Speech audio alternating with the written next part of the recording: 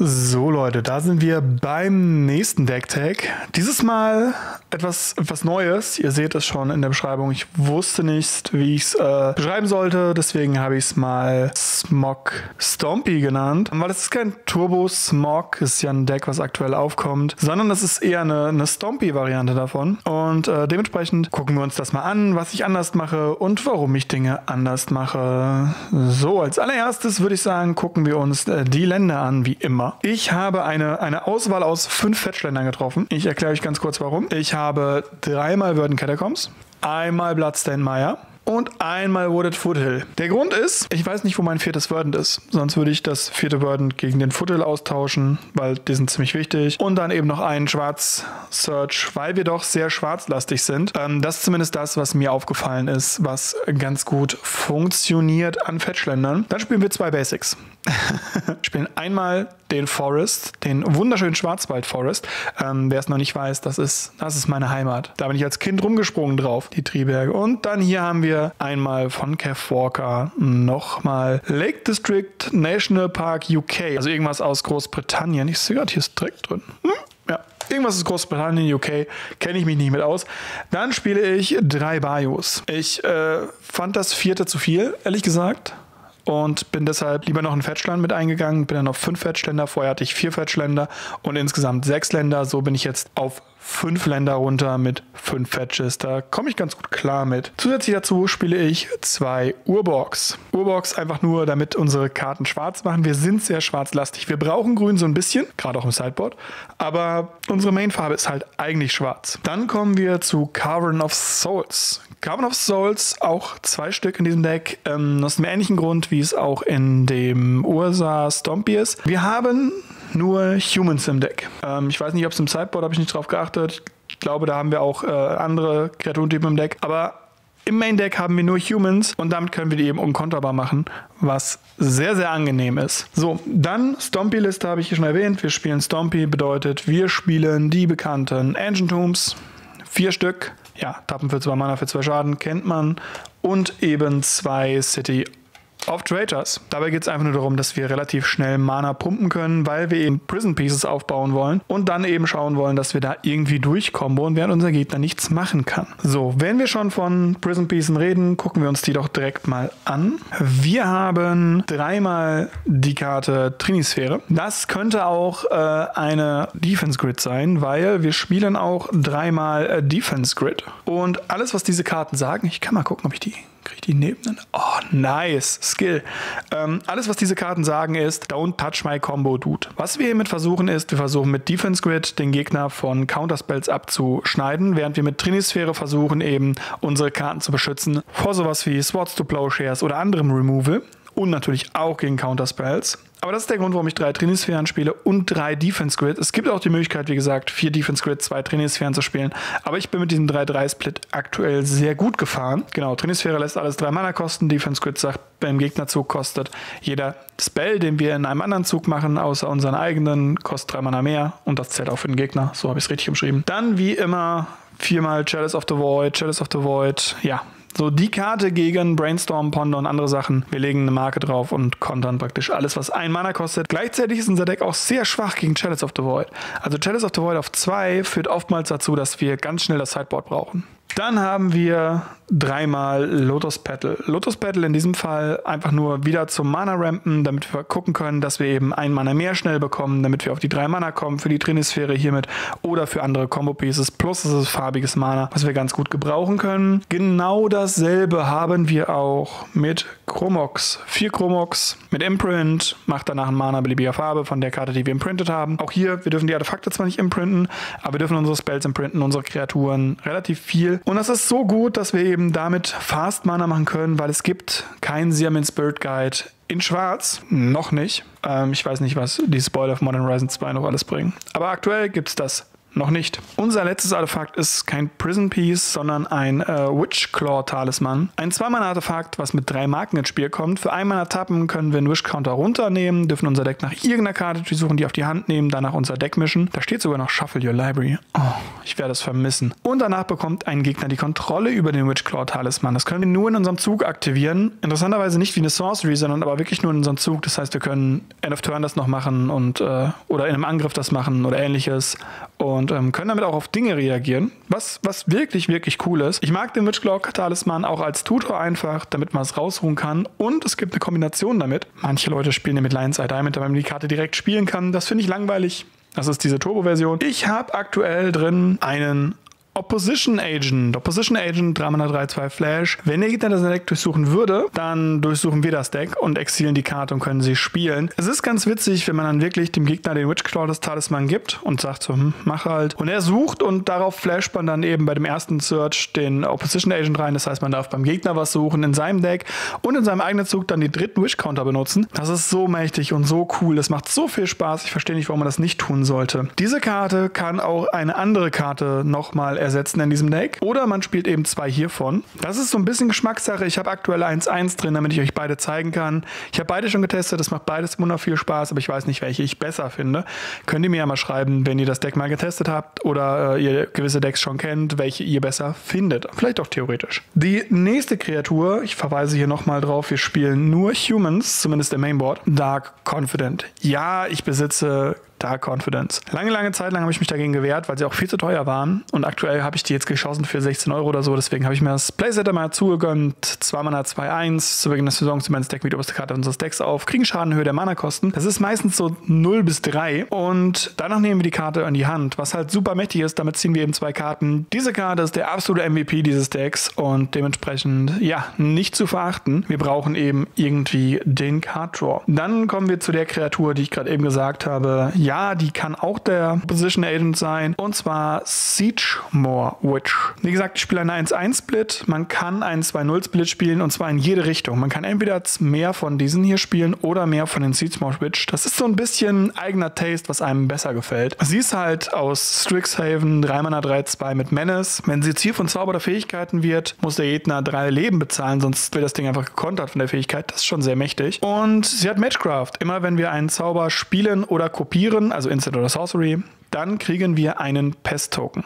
Diese Pest-Token sind ultra niedlich und grinsen die ganze Zeit. Und die Pest-Token haben, wenn sie sterben, kriegen wir ein Leben. Das ist aber irrelevant. Wir wollen einfach nur einen schwarzen Token-Generator. Und die zweite Karte mit Magecraft, die wir spielen, die auch aus Strixhaven ist, ist eine Ankam, und zwar Wither Bloom Apprentice. 202-2. Immer wenn wir einen Zauber casten oder kopieren, also Instant oder Sorcery, verliert jeder Gegner ein Leben und wir kriegen ein Leben. Das ist halt so ein bisschen der Kern unseres Decks. Wir versuchen so ein bisschen mit diesen beiden Karten zu komboen, während wir damit ein bisschen Karten ziehen, den Gegner ein bisschen behindern. Das ist so die Idee und das ist auch der Grund, warum wir grün in diesem Deck spielen. Bisher der einzige Grund. Ähm, da kommt noch ein bisschen was. Aber ja. Denn mit diesen Kreaturen kann man die Combo spielen, die aktuell gefühlt in aller Munde ist, die wir auch schon äh, im Podcast Radio Ravnica super oft äh, besprochen haben. Und deshalb Jane auf Smog. Zwei Mana Sorcery, ein Spieler unserer Wahl wirft zwei Karten ab. Dieser Spieler darf diesen Zauber kopieren, wenn er möchte und auf einen neuen Target lenken. Jetzt ist der Fall, dass wir uns damit auch selber wählen können. Das bedeutet, wir haben eine Kreatur auf dem Feld, wir haben eine Trinisphäre auf dem Feld und der Gegner hat kein Mana dafür. Bedeutet,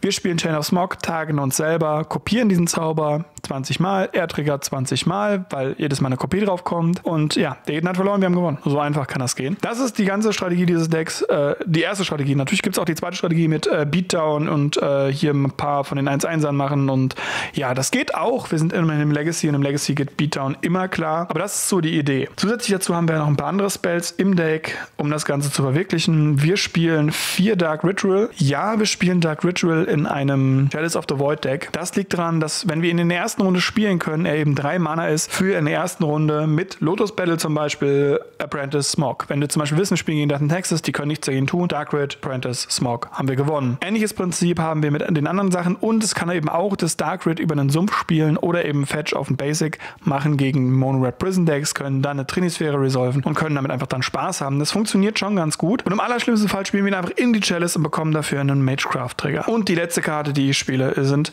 drei Once Upon a Time. Nochmal ein grüner Zauber. Ja. den man selten für grünes Mana spielt. Ja, Once Upon a Time, zwei Mana, wenn es der erste Spell ist, den wir in einem ganzen Game spielen, dürfen wir ihn, ohne die Mana-Kosten zu spielen, benutzen. Und ja, wir gucken uns fünf Karten an, nehmen eine Kreaturenkarte oder Landkarte, davon nehmen sie auf die Hand. Wir haben eine Menge Artefakte drin, so ist es nicht. Allerdings haben, und eine Menge Zauber, also so ein paar. Allerdings haben wir eben auch Kreaturen und Länder und das fixt uns das Mana und das Mana ist halt besonders wichtig in so einem Deck.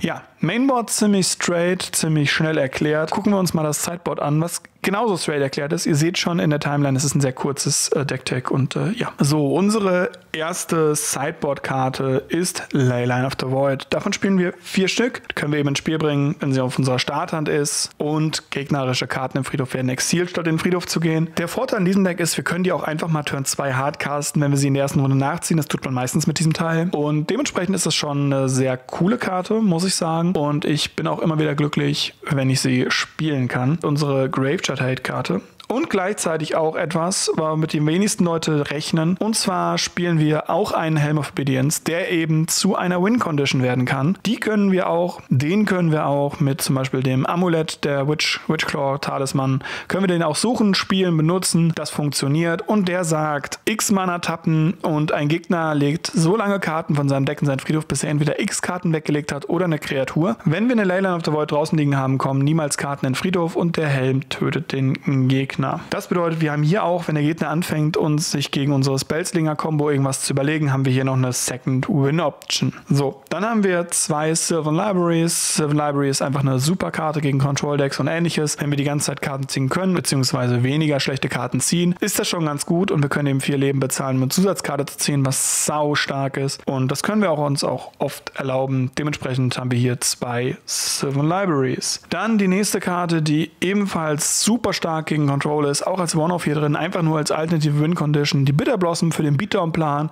zwei Mana Tribal Enchantment, die sagt, zu Beginn des Führungsmans verlieren wir Leben und kriegen einen 1-1 Rogue. Wenn wir den in die ersten Runde rausknallen, hat der Gegner im Normalfall so 4-5 Runden Zeit, bevor er stirbt. Und das ist super mächtig und kann den Gegner richtig hart unter Druck setzen, gerade wenn es ein Kontrollspieler ist. Dementsprechend hier auch sehr wichtig gegen Control. Ihr merkt schon, ich rüste mich mehr gegen Control wie gegen Agro, was daran liegt, dass wir gegen Agro meistens unsere Combo einfach relativ schnell finden können und einfach durchziehen können, ohne dass uns die Gegner stören. Hingegen halt gegen Kontrolle mit Counterspells. Das ist fies. Deswegen spielen wir auch ein Veil of Summer, beziehungsweise zwei Veil of Summer. Und Veil of Summer hat mich tatsächlich auch schon in einem Stompy Mirror Match gerettet, weil mein Gegner seinen Chalice auf zwei gelegt hat. Nicht damit gerechnet hat, dass ich Veil of Summer reingebordet habe, weil es war ein Ursa Stompy. Und ich wollte vor vor dem Ravens-Form beschützen und vor dem Force natürlich. Und tatsächlich war es so, dass Medna die Chalice auf 2 gelegt hat und ich diesen Spell spielen konnte und danach waren meine Spells unkonterbar. Und dadurch konnte ich durch die Chalice spielen einfach meine Combo spielen einfach gewinnen. Damit hat er nicht gerechnet, das war super stark, es hat mega viel Spaß gemacht. Bale of Summer,